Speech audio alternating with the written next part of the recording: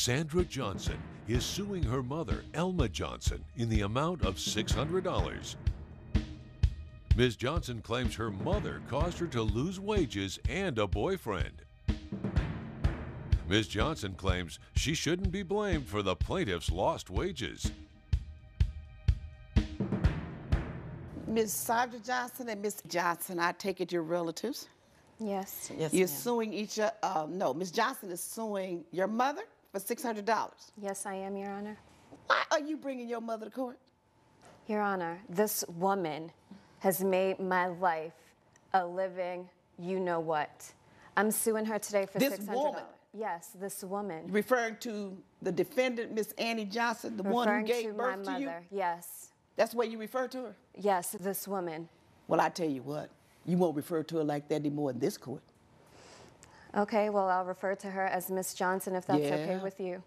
It's fine with me, but not this woman, baby. We don't play that here. She deserves much more respect than that. Whether you realize it or not, she does.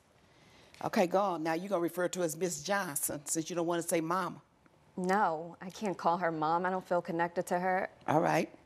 Tell me your story. She showed up to my job in a place that she has no place being, making a whole ruckus, and pretty much got me sent home on the day that I make the most amount of money. And now I lost $600. But not only that, I lost my life, the life that I have been creating for myself since I left her. I've been trying to get away from her ever since I was younger.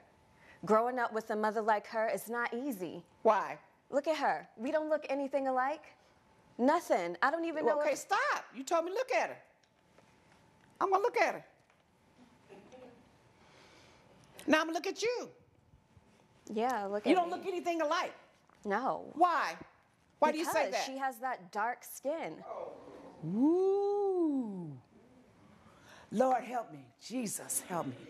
Okay, she has that dark skin. So so what? What do you have? I have light skin. And so mothers and daughters and families don't come in different shades? Oh yeah, that's great. But I realized growing up that people with that kind of skin has it a little bit harder. And you know, I worked really hard just to keep my life as easy as possible. Okay, you need to hurry up and explain yourself to me. Your Honor, growing up with a dark mother was so embarrassing. All of my friends were white. Everybody was white. Where the did you people, grow the up? The guys I dated were white. Where did you grow up? My friends were white. Alabama. and what how old are you? Your Honor, I'm 25 years old. So what part of Alabama did you grow up in that all your friends were white? Birmingham. In Birmingham. And you're 25 years old. Yeah. which means that that was in what 1990 something you were born 1990. And all your friends were white Yes. so if you grew up in birmingham alabama and all your friends were white you didn't grow up with your mother She was barely around. She she was busy cleaning up after white people. Ooh. I didn't want to live that poor life.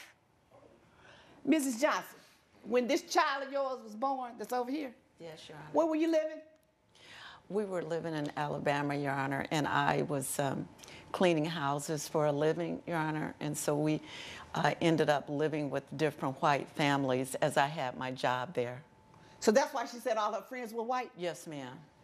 and she went to schools she went to school in the area of the families i mean the families that you lived and worked for she went to school there Yes, ma'am. and do Yes, you realize and understand why you were able to do that Yes, because she was poor and uneducated. And so I had to live a life of struggling. And like I said, I tried, once I got away from her, I tried my best not to live that kind of life. so how'd you get away from her I earned a enough money to get away from her, and I started dating this white guy who, whose family had a lot of money. at what age 16. and then you changed your life i mean you changed your identity Yes, identity I or went something to college. I got an education, All something right. that she does not have. You won't see and me is that her fault that she doesn't have an education Yes. why She's her own woman. I'm not her mother. you say you went to college Yes. you sound like an ignorant fool Doesn't matter. Coming up on Justice with Judge. We're back with the case of Sandra Johnson, who is suing Elma Johnson for lost wages. You don't sound like a college educated woman. You didn't learn anything about history. Did you take a history class? Sure did. You didn't learn a doggone thing. Because if you don't understand why your mother was working where she was working and doing the kind of work that she did and did not get a college education, it's because you don't understand your history and what went on in America during her age, a woman in the 60s or 60 and over.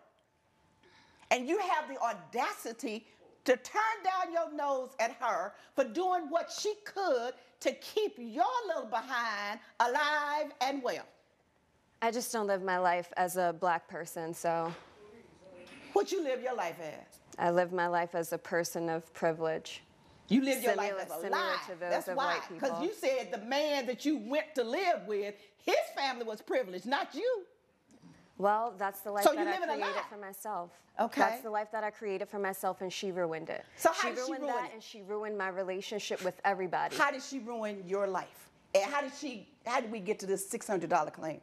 Because, Your Honor, once I got enough money to get away from her, I moved away. I didn't give her my number. I didn't give her my address. I told her if I wanted to get in contact with her that I'd reach out to her. But no, she is stalking me. She showed up one day to a grocery store in my neighborhood, stalking me down in the aisles, trying to talk to me in front of all these white people.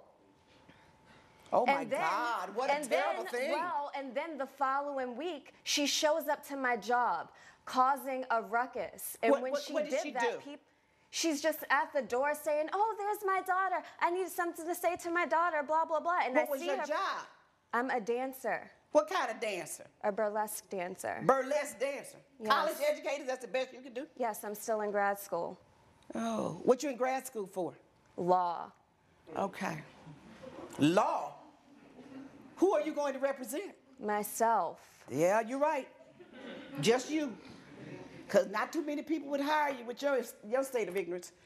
So your mother is outside asking for you, not asking, but telling people that's my daughter and I want to see her. Right, and, she that, said that to my boss. and And now he's asking me if that's my mom. And so, of course, I had to say no because they can't have people like her in there.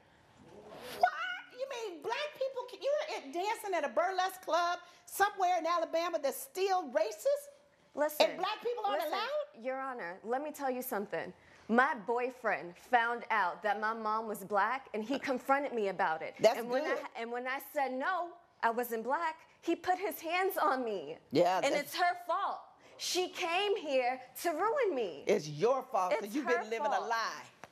And you won't accept your heritage and your roots. And you will not acknowledge your mother as your mother. It's your fault because you've been living a lie. And your lie got discovered. And it was totally unnecessary. If you knew who you were and you were so intelligent and so sensible, you wouldn't have to live a lie. I didn't live a lie, and I have a college education. That's great. She doesn't. Oh my goodness. Ms. Johnson, I feel your pain. Yes, ma'am.